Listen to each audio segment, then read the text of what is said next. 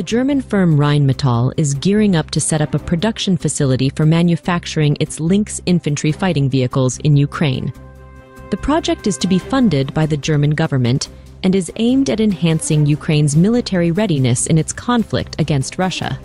The Lynx is amongst the most advanced infantry fighting vehicles in the world and is sought by numerous countries for modernizing their IFV fleets. Its modular design offers commonality of parts across various variants and enhances its operational readiness while reducing training and logistical costs.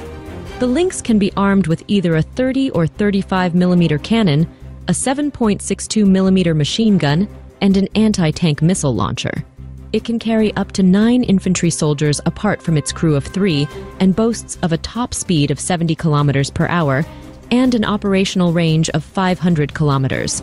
The collaboration between Ukraine and Rheinmetall would play a major role in bolstering Ukraine's defense capabilities and is also demonstrative of Germany's continued support to Ukraine.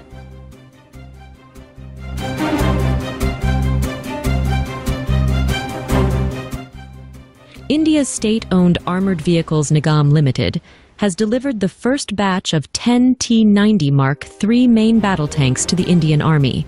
The T-90 tanks are being produced in India under a licensing agreement with Russia, and the recent deliveries were a part of a $2.8 billion contract for the supply of 464 T-90 tanks. The T-90 Mark III features several upgrades over its predecessors, including a new digital ballistic computer, automatic target tracking systems, and advanced sighting systems. These upgrades are also expected to make their way onto the Indian Army's existing T 90 fleet. The remaining fleet of 454 T 90 tanks would be delivered to the Indian Army in phases, and the entire contract is expected to be fulfilled over the next five years.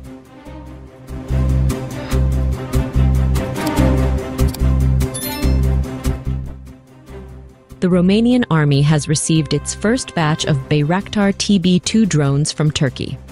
Romania in 2022 has signed a contract worth $321 million for the procurement of three Bayraktar systems, featuring a total of three command posts and 18 UAVs. The Bayraktar TB2 is a medium range UAV capable of conducting reconnaissance, surveillance, and strike missions. It boasts of a range of 150 kilometers and can stay airborne for up to 27 hours. It is capable of carrying a wide variety of payload, including guided missiles and bombs. The Bayraktar rose to fame during the Armenia-Azerbaijan conflict and has also been used extensively in Ukraine. The procurement of Bayraktar TB2 UAVs is a part of the Romanian Army's modernization plans that aim to significantly enhance the capabilities of the Romanian Army by 2040.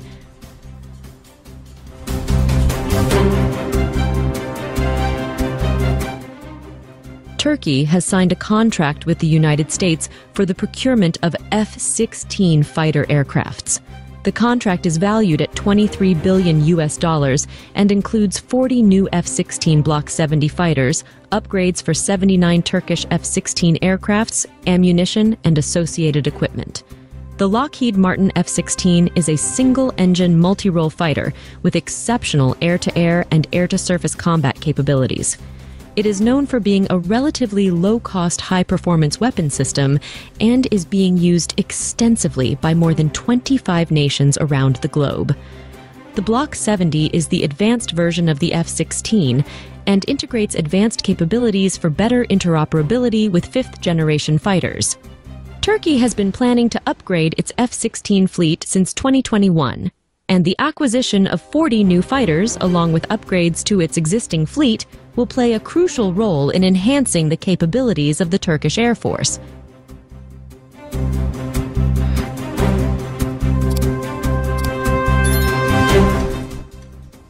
Indian defense firm Economic Explosives Limited, a subsidiary of Solar Industries, has delivered the first lot of 120 Nagastra 1 loitering munitions to the Indian Army. The Nagastra 1 is Solar Industries' first loitering munition and is designed for conducting precision strikes against soft targets. The system weighs around 9 kilograms and boasts of an operational range of 30 kilometers and an endurance of 30 minutes. It is armed with a 1 kilogram high explosive fragmenting warhead and also features a parachute based recovery system. It uses a battery powered propulsion system and is known for being extremely quiet. The Nagastra boasts of over 75% indigenous content, and its induction into the Indian Army is indicative of India's growing self reliance in the defense sector.